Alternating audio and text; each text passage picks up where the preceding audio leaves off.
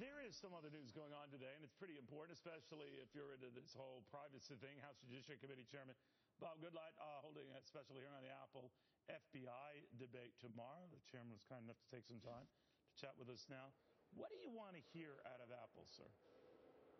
Uh, I want to hear from both parties what they're doing to try to solve this problem, but I also want to hear from both parties what the nature of the problem is for them, because they obviously come at this from very different vantage points. And one of the things you got to start out with is to understand that strong encryption is a really, really good and important thing, because when you see businesses, banks, government agencies uh, hacked, what they're doing is getting around the encryption, protecting those uh, pieces of information.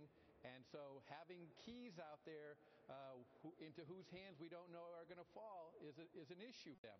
On the other hand, obviously, with the change in technology that's occurred over the last 20 years and the increasing use of strong encryption, which I think is going to get stronger and stronger, it does pose problems for law enforcement, and therefore uh, we need to find a solution to the problem.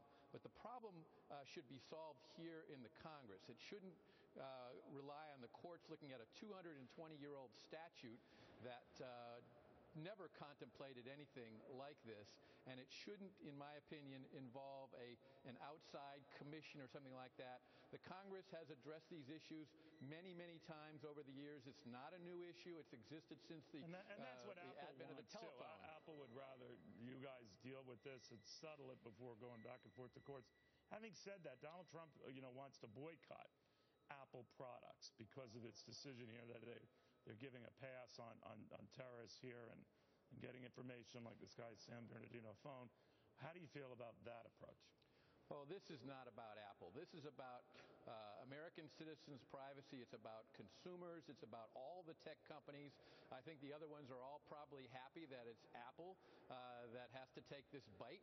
But the fact of the matter is, uh, this is an issue that uh, is very far reaching, and it's important to law enforcement. We need to help them figure out how to solve it.